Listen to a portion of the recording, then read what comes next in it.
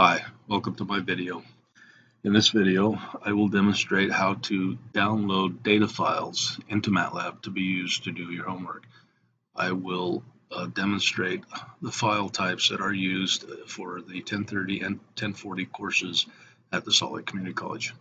Uh, these consist of a .dat and occasionally a .text and also currently the uh, Excel files. So first and foremost, we need to make sure that your data files are in your current folder. And you can see here in my current folder, I don't have any data files, just some uh, graded homework that I was working on. So to change your current folder to where your data files are, you click on this icon here, which is a folder with a green arrow, and it'll open up this navigation window, and then go to uh, the place on your hard drive where you're keeping your data files. I created a folder here called online classes and then select folder. Now you'll notice that it is now desktop online classes and I just happen to have two files in here. Um, I guess if I'm going to do a dot text I probably ought to have one of those too.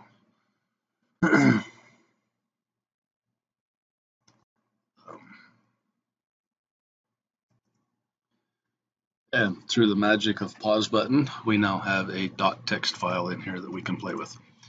So now that our files are in our current folder, inside of your editor window or your M file, you can, um, so we're going to load the dot .dat file here.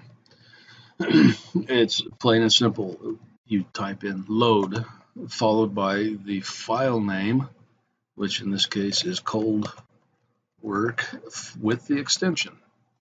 And that's it. As soon as you execute this code, you'll notice in our workspace we have cold work. I probably should have cleared that first and let's try that and do it again. So now we're going to execute this code. We now have a matrix in here that is our cold work data file. And from that you can then um, let's see, I'm thinking that the time vector uh, was the first column. So we want all the rows from the first column, and then we'll just pull out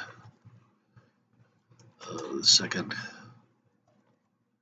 column. Will work. all the rows from the second column. And then we'll plot our time versus data.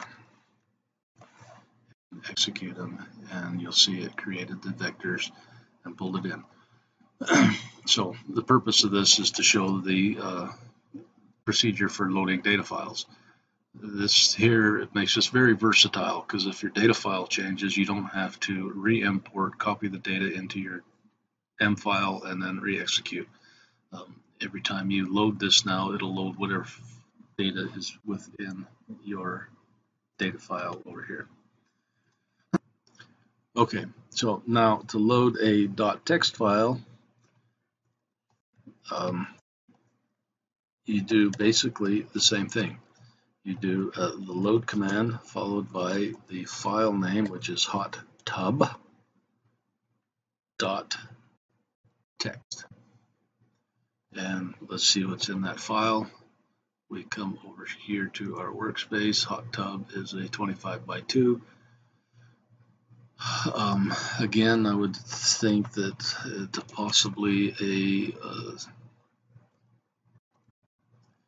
the first column is going to be our time vector. So we want all the file rows in the first column and the data would be hot tub all the rows from the second column.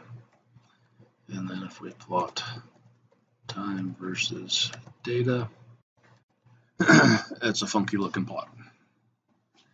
Okay but again the purpose of this video is to show how to uh, download or import uh, load uh, data files into MATLAB Okay, so so again, uh, it's easy. You make sure that your data files are within your current directory, and then it is just load the file name followed by the extension, and that'll load the data file into MATLAB with the name of the data file as the name of the variable. So now, new to uh, the fifth edition of the textbook, we have uh, Excel files. Uh, this is new to 2016B uh, uh, version of MATLAB. Uh, we've never dealt with Excel files before. So, so this has been a learning experience for me also. So we are going to show you how to load Excel files. Um, there are three ways that I know of right now on how to load Excel files. Um, first off, you can come in here to the current folder where your file is located and double click on the folder, which will open up this dialog box for the import. You can change the variable name of each column um, and then import selection. Okay, and then you go to your workspace and you'll have a whole bunch of vectors one for each column of the data file. You can also do the same thing from the home page and click on the import data. It'll open up this, open the file, and it opens up the exact same data file, or not data file, but dialog box for the import. That's nice, um, but if you're trying to use your um, import file. Again, on a changing basis, you don't want to have to import every time you change the matrix. So I have learned, and I, I, I learned on my own. I know that's not allowed, but I did it anyway. Um, I learned a command that will load it into the memory just like the load command. So I'm going to assign this to a variable called data. Um, I'm going to uh, first come up here and clear the workspace and the command window. So a variable called data, and then the command you want to use is called x um, xls read, followed by an open parentheses, a single quotation mark, and then the data file name and extension.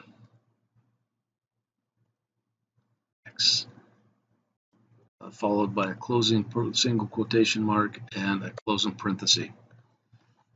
And that's it. Um, that will read the data file in.